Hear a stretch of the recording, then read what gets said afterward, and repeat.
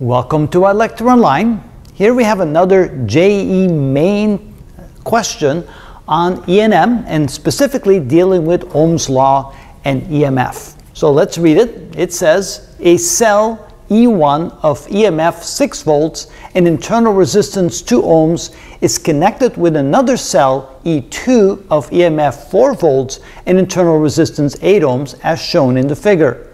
The potential difference across points x and y is, and we get four possible answers. So essentially what they're asking is, what is the potential difference going from x to y? And of course, it doesn't matter if you go around this way or if you go around that way. Either way, of course, the potential difference would have to be the same. So how do you figure that out? Well, First of all, we need to figure out what is the net EMF because notice the two batteries are positioned in opposite directions. We have the positive side going this way or directed in this way over here and the other direction by the other one. If this one was turned around, then the total EMF would be the sum of the two or 10 volts. But since this one is turned in the other direction so that the plus is on this side and the plus is on this side over here, they work against each other. So essentially we can say that EMF net, the net EMF, in this case is going to be 6 volts minus 4 volts, which is equal to 2 volts. So essentially, we could remove those two and replace by a single EMF of 2 volts. Now, of course, that's not entirely true because they also have internal resistance we have to deal with. But from an EMF perspective, the net EMF is simply 2 volts directed in this way. So that means that the current will flow in this direction. So the next thing we need to do is use Ohm's law. Determine the current in the circuit.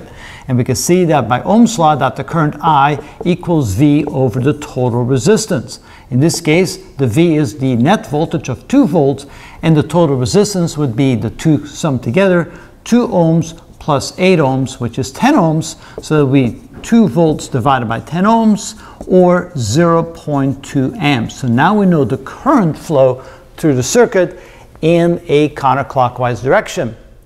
Finally, we can determine the potential difference between X and Y.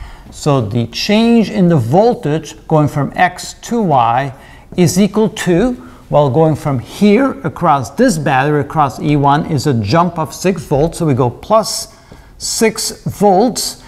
And then, since this has internal resistance of 2 ohms, we have a voltage drop due to the internal resistance that would be minus I, the current, times the resistance R minus because we're going with the flow of the current. So this would be equal to 6 volts minus I, which is 0.2, times R, which is 2 ohms.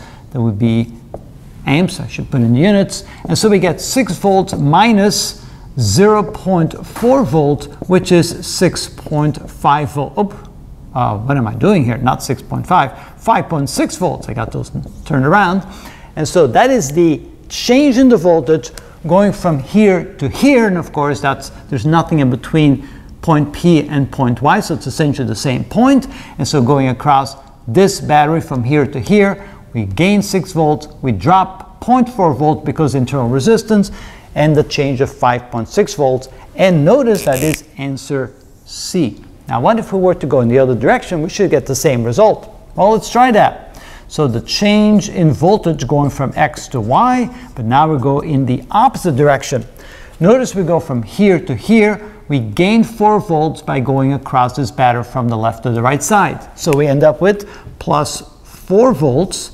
Now notice that we're going in the opposite direction of the current. So instead of having a voltage drop due to the internal resistance, we're going to have a voltage rise because we're going against the current. And so it would be plus I times R, the internal resistance. In this case, that is 4 volts plus the current of 0.2 amps and the internal resistance of 8 ohms. So we get 4 volts plus 1.6 volts or again 5.6 volts. We wouldn't expect anything different, of course. So it didn't matter which way you went, going from X to Y, in either direction, you're going to end up with a change in voltage of 5.6 volts. Both point to answer C. And that is how it's done.